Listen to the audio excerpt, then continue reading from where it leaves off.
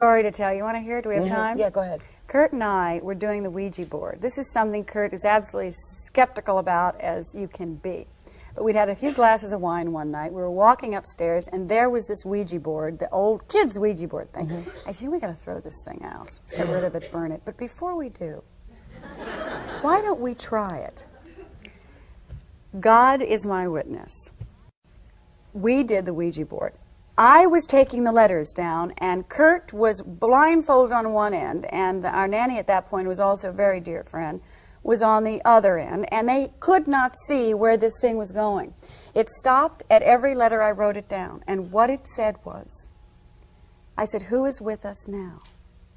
It said, New baby Russell. No. And I just told him, and I get the chills just thinking about it. And it said, Yes. I said, Do you know what you want to be? It spelled out happy. I said, Who is willing you in? It spelled out, I promise you, Oliver.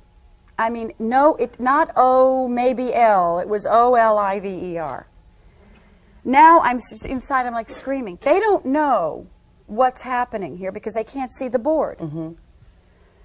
With that, Oliver woke up, comes running downstairs. It was like 2 in the morning. Mom, he said, I'm scared.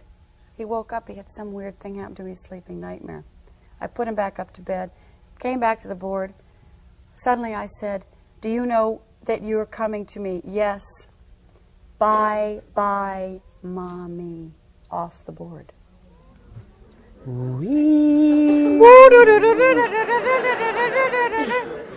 Anyway, so when the baby came and, and we were in the hospital and everything was joyous, Oliver came and he picked the baby up and he lay down on the bed with him and he said, Mom, I can't believe he's here and he's mine. Wow. It was